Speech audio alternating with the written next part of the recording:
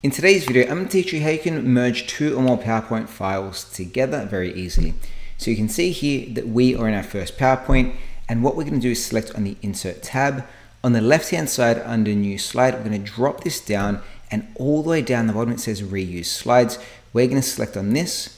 A dialog box on the right hand side pops up and we're going to select on Browse and we're going to find the other PowerPoint we want to merge.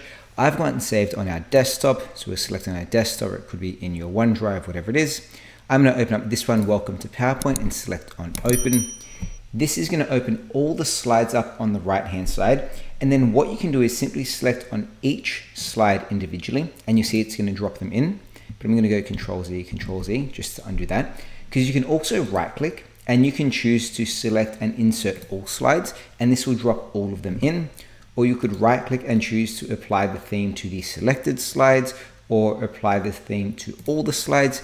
And you'll see here, you're either inserting those slides or you're choosing the theme. It's really easy. You can also go through and maybe you want to drop it here under slide five. We're going to pop in this slide and that slide, simply clicking it and it will insert it or right click and choose to insert all slides. And there you go. It is that easy to merge two or more PowerPoints together.